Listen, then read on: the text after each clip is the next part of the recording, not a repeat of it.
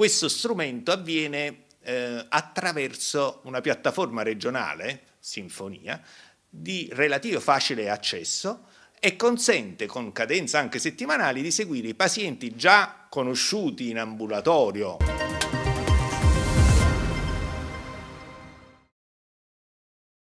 La nuova frontiera della salute, la telemedicina, diffusasi rapidamente in Italia in concomitanza con la pandemia da Covid-19, ad oggi è un'alleata importante soprattutto nelle cure palliative e nella terapia del dolore, un sistema di cura a distanza che punta a migliorare la qualità di vita dei pazienti. All'unità operativa di cure domiciliari dell'ambulatorio di Fratta Minore, la telemedicina si fa regolarmente ed è una prestazione sanitaria a dir poco fondamentale per decine di pazienti attivata e dedicata alla terapia del dolore ormai dall'epoca Covid, quindi 2019,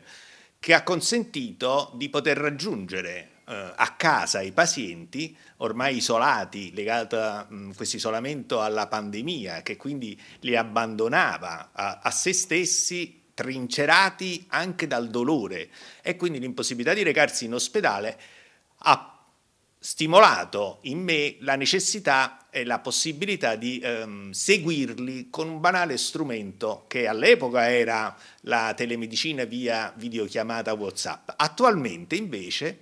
questo strumento avviene eh, attraverso una piattaforma regionale, Sinfonia, di relativo facile accesso e consente con cadenza anche settimanali di seguire i pazienti già conosciuti in ambulatorio di eh, terapia del dolore o a, a, domicilio del paziente quando questi pazienti non possono raggiungere le strutture ospedaliere o ambulatoriali, hanno la possibilità di essere seguiti a distanza e quindi avere tutti i benefici di una terapia eh, sartoriale, ossia si imposta una terapia e poi piano piano, settimanalmente se necessario, è possibile modificarla adeguandola al momento per momento. Per accedere all'ambulatorio di telemedicina è necessario chiaramente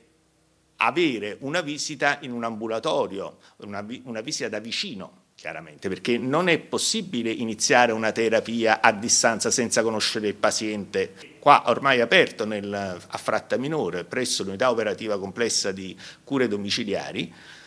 e oltretutto qualora i pazienti non fossero in grado di venire in uno degli ambulatori dell'ASL e poi dopo vengono seguiti in telemedicina, è possibile che